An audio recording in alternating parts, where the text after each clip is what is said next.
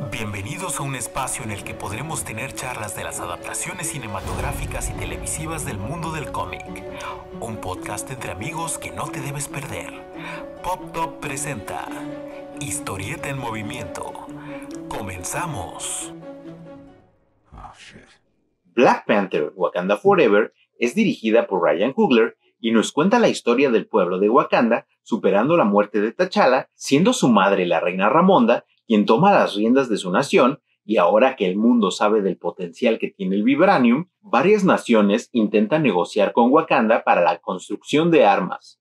Acto que la reina no está de acuerdo, por lo que varios países, incluyendo Estados Unidos, intentarán conseguirlo a toda costa.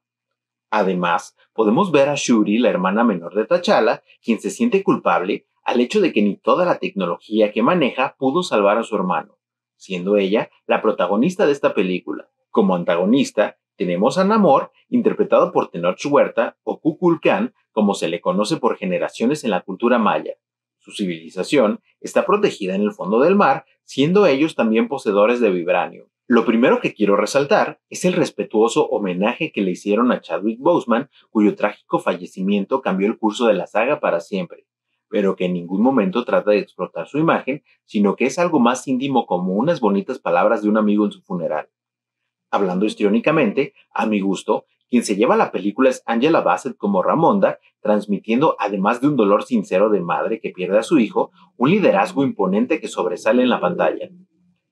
Tenoch Huerta como Namor lo hace muy bien, siendo un antagonista imponente y cuya causa es completamente justificada, haciendo que no sea un villano genérico más de Marvel. Que no es secreto el hecho de que cambiaron su historia de origen para resaltar la cultura maya, que aunque algunas de sus justificaciones no me cuadraron al 100% como el origen de su nombre. Leticia Wright hace un muy buen trabajo llevando el protagónico, tarea difícil ya que llenar los zapatos de Chadwick Boseman era algo complicado, siendo esta una historia de origen para ella y de alguna manera de enamor.